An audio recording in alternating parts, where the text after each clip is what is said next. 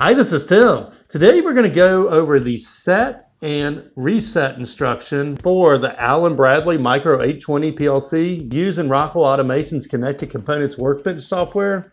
Now, if you're coming from RS Logix 500 or Studio 5000, then you probably know these instructions better as the latch and unlatch instruction. Also, as my kids have already written there, please uh, like our videos, subscribe, ask any questions down in the comments, and do all the social thingies. They're down in the description. Okay, I forgot, forgot. Turn on notifications. The little bell thing, hit it.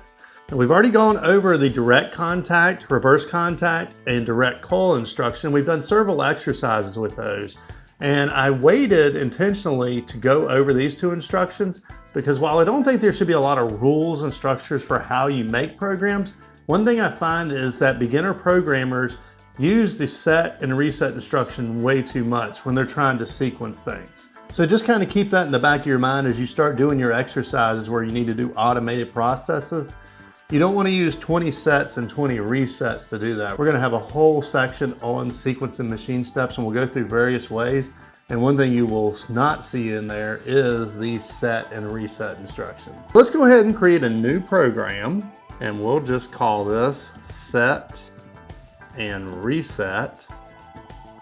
And then let's select controllers, micro 820, and we have a 2080 LC20 20QWB revision 12, select, add to project, and then let's go down to our ethernet configuration and let's set our IP address at 192.168.110 with a subnet of 255, 255, 255, 0. Now right click programs and let's add a ladder program and let's go ahead and open that up.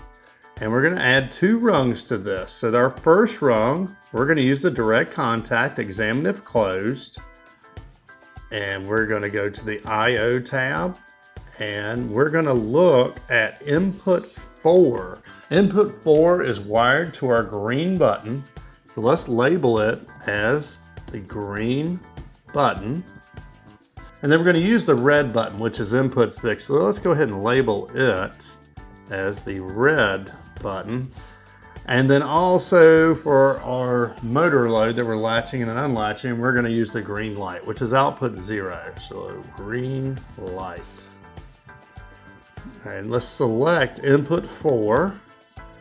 All right, now we've been using this direct coil output energized.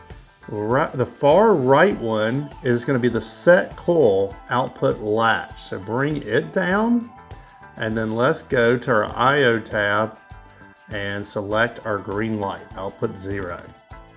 Now let's add a second rung and let's use the direct contact, examine if closed again. And this time on our IO tab, let's select that red button. One thing to remember is that our red button is wired normally open in this exercise because we're still using our wiring enough to get started exercise. And this time, let's bring down the reset coil output unlatch. So bring it down and we're gonna use that same green light. And that is our program. So let's go ahead and download that. And then if you need help downloading, then look in the description. I'll put a link to this entire playlist that goes through how to install the Connected Components Workbench software, how to uh, connect to your PLC, upload, download, all those things.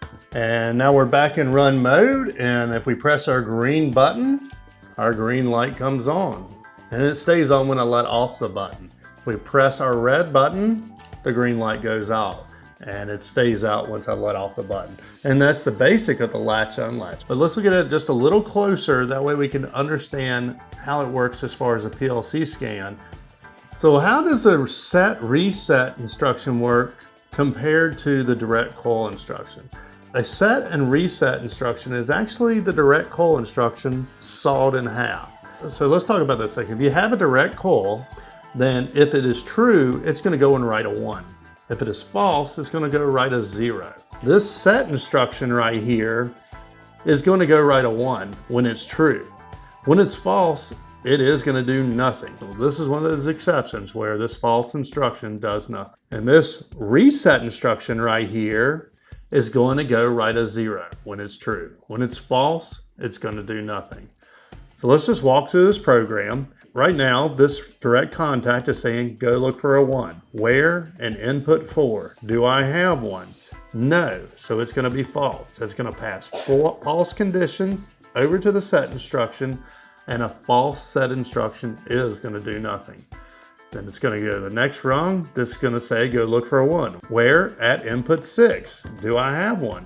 No, so it's going to be false. And it's going to pass false conditions over to our reset instruction. And a false reset is going to do nothing. So now let's press the green button. And I'm going to press and hold it.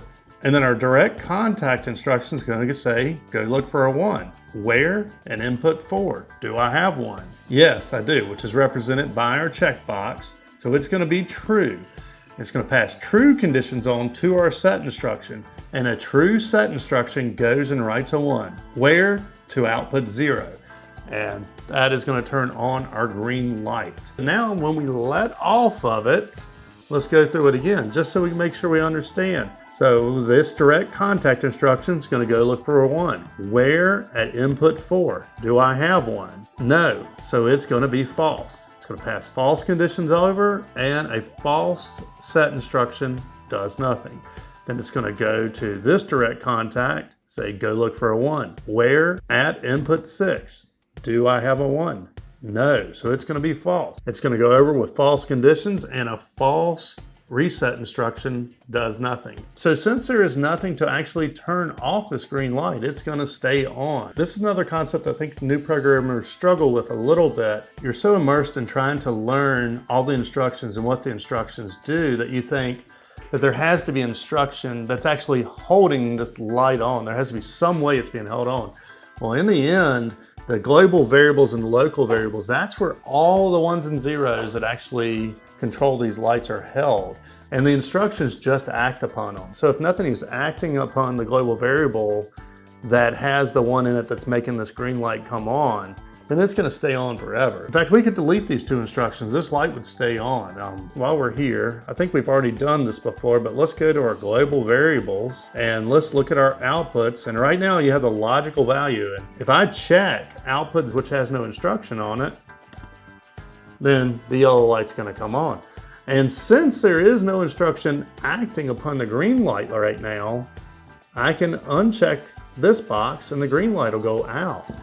But just to understand a little bit about that, hold your red button and now try to make the green light come back on. While we see the checkbox come on for a split second in the Connected Components Workbench software, the green light never came on. And that's because right now our reset instruction over here in this program is writing a zero to that every single scan. But now once I've let off of it, I can manually check the box on, off, on, off. So this is another good example that shows that our set and reset instructions don't actually write to the outputs controlling these lights. They write to those global variables. So I hope that helped you understand the set and reset instruction. Again, be careful with these two instructions because they can be really easy to use on like really basic things such as this. But when you start really compounding them and having multiple situations that need to turn on and off outputs, such as typical machine steps, you can really bloat your program and make it hard to troubleshoot fast. Till next time. Hi, this is Tim. And this is Amber of TW Controls. We run the automation store. Hey, thanks for finding our channel. Here's a playlist with some similar videos. And YouTube thinks you'll like this video. Please like our video and subscribe to our channel. And if our videos have helped you make some money and you're not using our products, please consider supporting us on Patreon. Till next time. See ya!